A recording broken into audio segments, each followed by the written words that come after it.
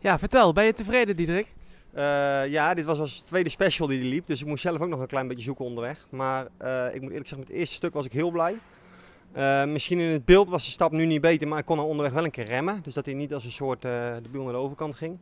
Ze gaan de cijfers nog niet heel hard omhoog, maar kan in ieder geval wel een keer controle halen en dat is wel heel fijn. En ik moet zeggen, ja, die, die twee keer die één is, dat is gewoon duur. Eerste, op de, in de eerste natuurlijk op de middenlijn halverwege een hakkel. En uh, op, de, of op de diagonaal op de middenlijn um, bij de eerste keer op twee benen. Dus dat is gewoon duur. Maar ik moet zeggen, voor de rest uh, was ik er wel echt heel blij mee. Ja, over die cijfers gesproken. Heb je een verklaring voor dat je door sommige juryleden op 2 en 3 bent gezet en de andere op 11 bijvoorbeeld? Ik denk dat je daar beter gewoon niet meer in kan verdiepen.